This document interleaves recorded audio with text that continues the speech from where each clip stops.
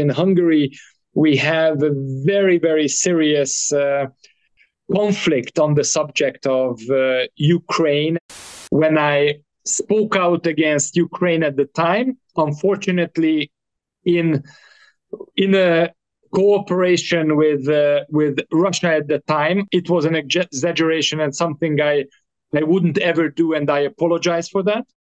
If uh, Viktor Orban at the moment would start to tell people that the sky is uh, green and the grass is blue, then uh, three days later you would find that people believe it. One clear way out would be to dethrone Viktor Orban. It is up to Hungarian opposition politicians uh, and the Hungarian electorate uh, to get rid of this guy. Is Hungary pro Russian? Why does Orban defend Russia and Putin personally? We posed that question to president of Jobbik party.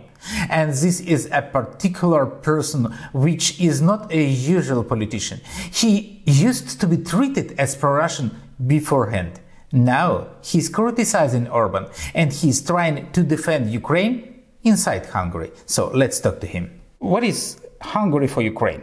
And uh, what is Ukraine for Hungary now? It's a neighboring country of Hungary, which uh, has decided uh, that it wants to belong to the West and wants to adopt the Western values and wants to become a democracy and uh, and the market economy, adopt the Western values and wants to choose uh, Europe instead of uh, instead of Russia and instead of Asia.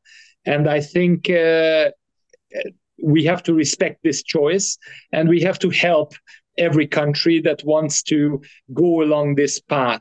And it's very, very unfortunate that uh, that um, uh, that in Ukraine uh, this um, this uh, choice has basically escalated into a into a terrible conflict. There cannot be any doubt as to where we stand in this conflict, and uh, we have to help our neighbor in every way we can. It's a war of aggression that uh, Russia has started against a sovereign country, Ukraine. Some people sure, or at least pretend to be sure, that Hungary does not support Ukraine in this war. In Hungary, we have a very, very serious uh, conflict on the subject of uh, Ukraine and uh, on the on the topic of the of the war, uh, how much and how we should be engaged with Ukraine in this situation. And it is very, very unfortunate that our government, at least in its rhetoric, is um, appears to be uh, pro-Russia and appears to be blocking in the EU uh, every effort that uh, wants to support uh, Ukraine in every possible way.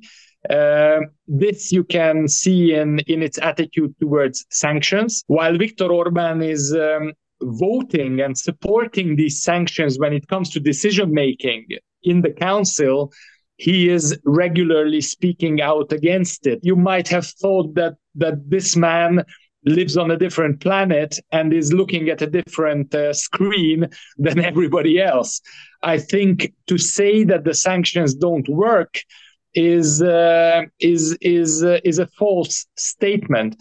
Uh, sanctions do work.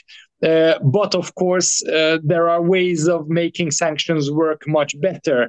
This is what we should be working on and not in questioning sanctions because that's very clearly Moscow's narrative. Uh, their mm-hmm. their aim and objective is to weaken uh, European cooperation, and uh, weakening European cooperation is by questioning uh, the efficiency of sanctions that it puts on the table. It's a nightmare to me to see that Hungary that passed through uh, a revolution who had Imre Nagy in its history is currently supporting Russia uh, with a large part of population. It's a very good question, and I don't know the answer to your to, to your question. I, I myself am puzzled as a Hungarian as to how uh, the majority of uh, the Hungarian population uh, can, or not the majority, let's say half of the Hungarian population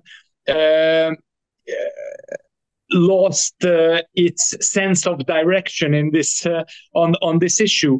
I think the parallel between 1956 and what is happening in Ukraine today is obvious.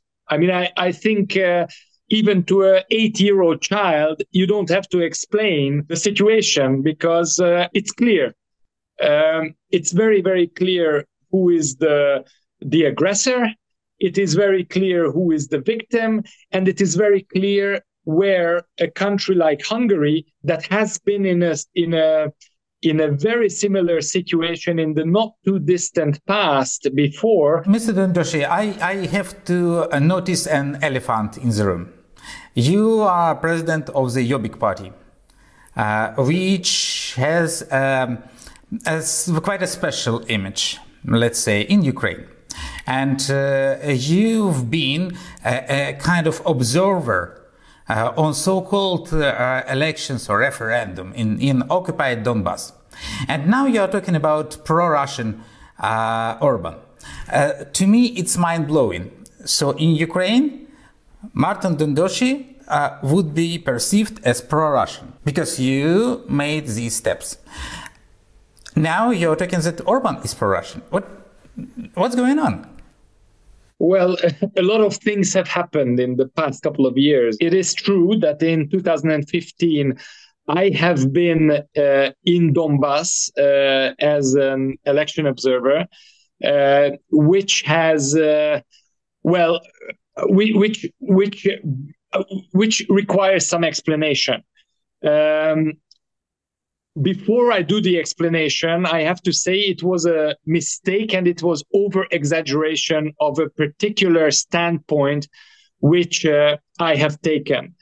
Uh, in 2015, uh, I was my party and I was very busy uh, in the aftermath of the Maidan events. The new regime or the new government um, under Poroshenko has, I think, I'm talking from a Hungarian perspective, made a tremendous mistake. It has alienated the ethnic minorities living on the territory of uh, Ukraine. When your new uh, government was set up and when your new parliament assembled, the first move of that parliament was to repeal the language law.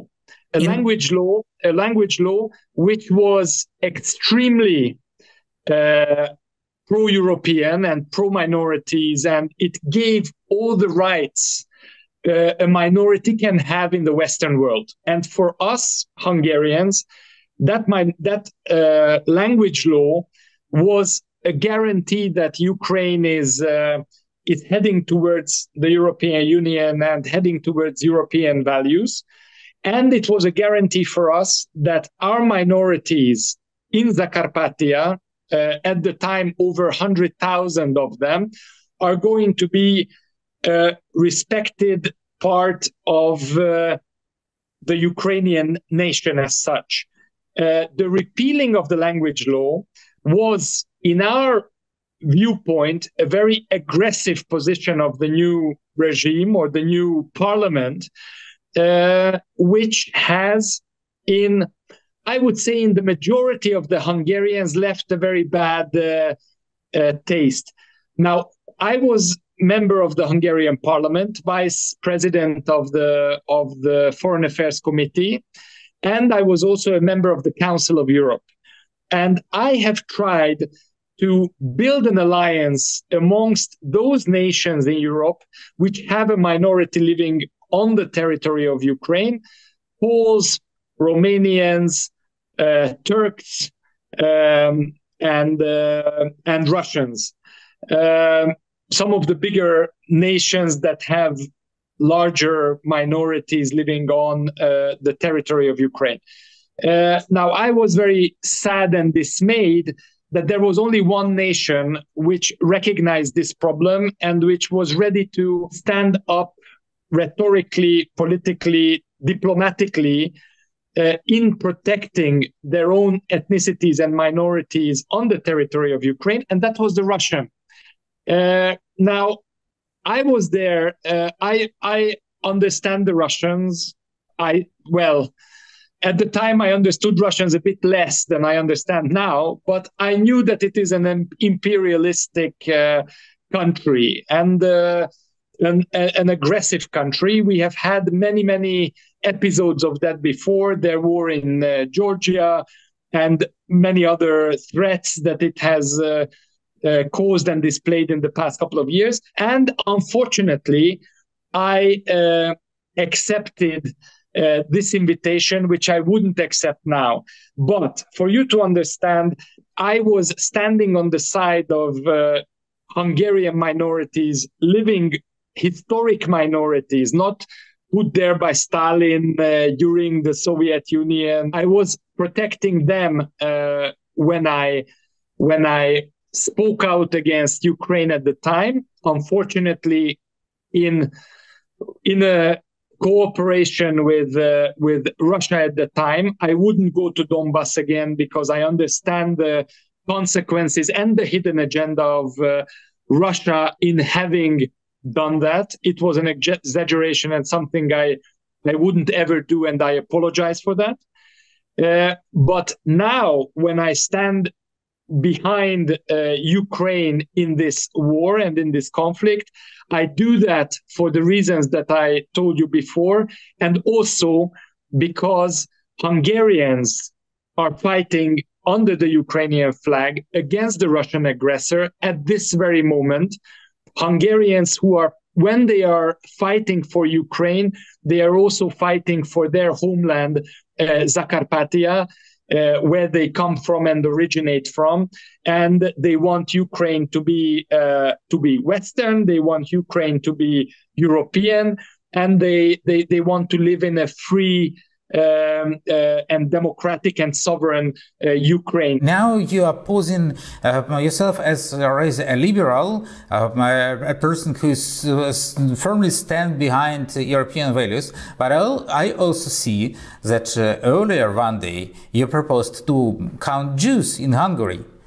So, and I'm, I wonder about so uh, that now supporting Ukraine, you have that kind of uh, background, being not only on these so-called elections but also attacking Jews in Hungary. Well, but I hope you understood my explanation for what I did. You don't yeah. have to accept it uh, as a Ukrainian. I, I don't accept you to to uh, to to accept what I did. I just wanted you to understand the motives and the background.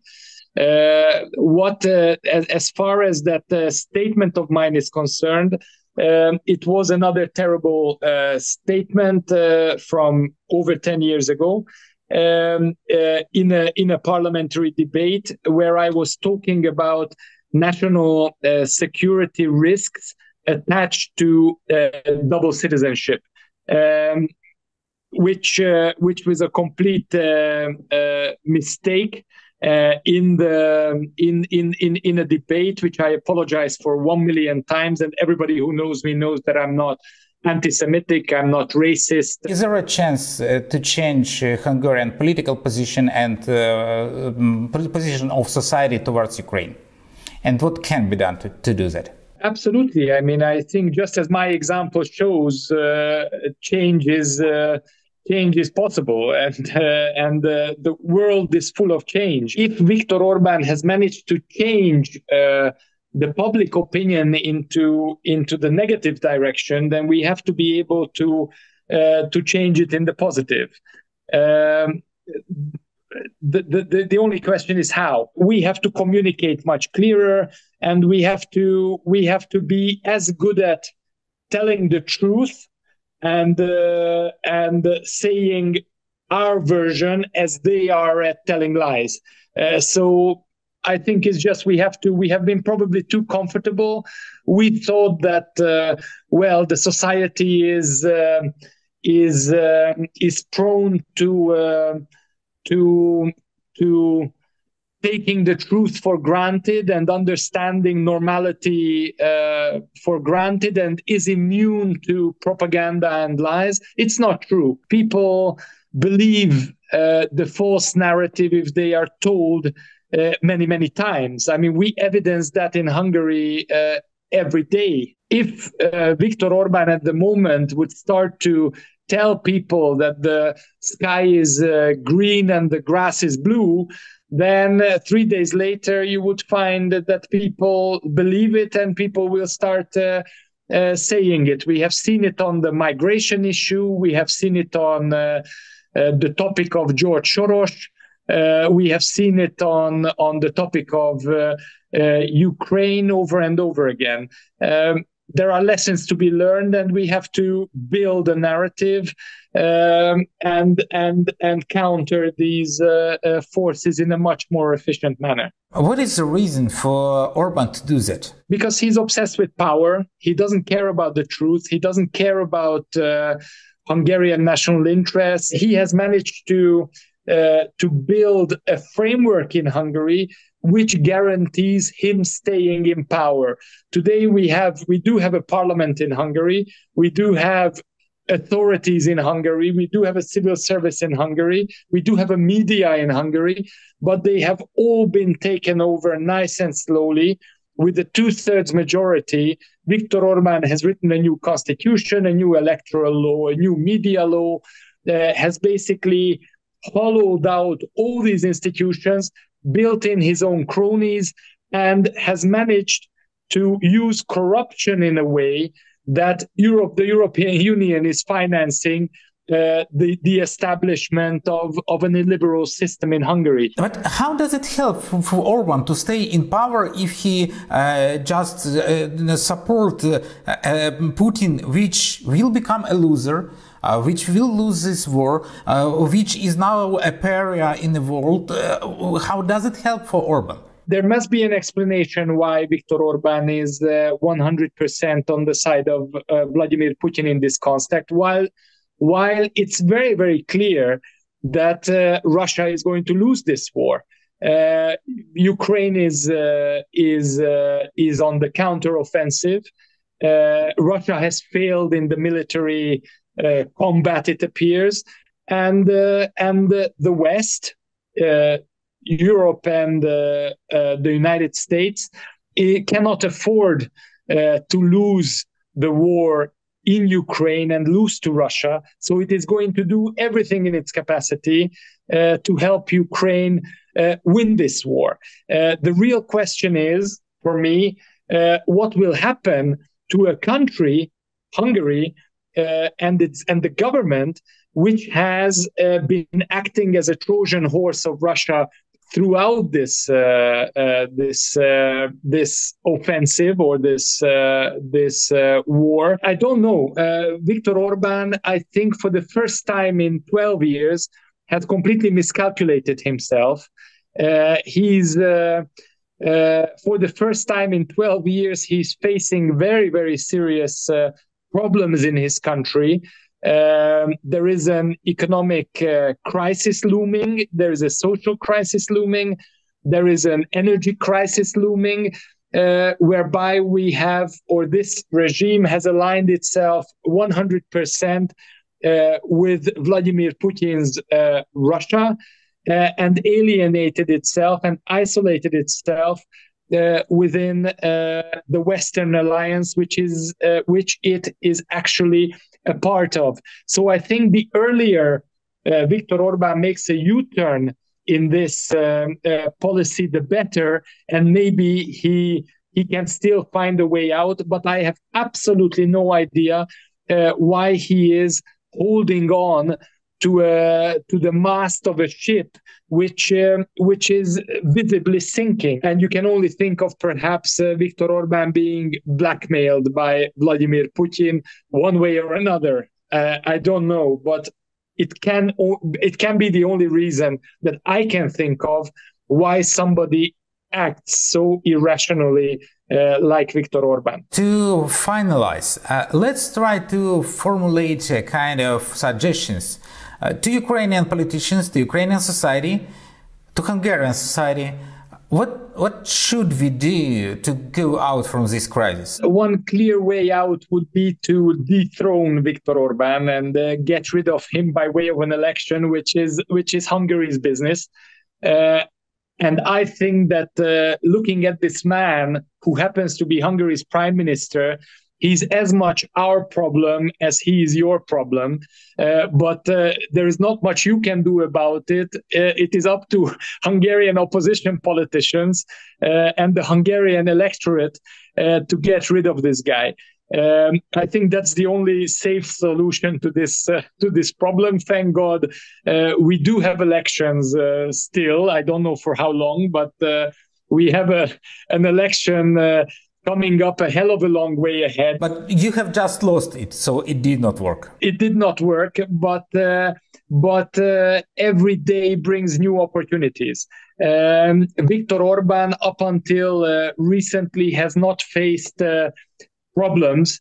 Uh, problems always bring about new opportunities uh, new opportunity is Hungarian people uh, realizing that they have been uh, cheated and they have been betrayed by the government, uh, which is uh, only building its own uh, power and its grip on power and not worrying about the the, the real problems of the people. it has not managed in the last 12 years, it has made Hungary 100% dependent on Russian energy, uh, nuclear energy, oil and gas, while it could have diversified in many, many uh, various ways. Um, it could have uh, built an economic policy not built on corruption, uh, which would have made hung- Hungary uh, progress in terms of people's well-being, in, in terms of people's um, uh, um, uh, purchasing power. Uh, it has not happened. Hungary is in a very deep social crisis, facing uh, uh an economic, uh, a global economic crisis. So I am 100% convinced that change will come about and and there will be an alternative to Viktor Orban. The real question is um, when it will happen. four years is a hell of a long way away. Uh, the only thing I can I can uh, I can propose to our Ukrainian friends is that they realize that Viktor Orban is not uh, Hungary, is not equal to Hungary. He is one Hungarian of many.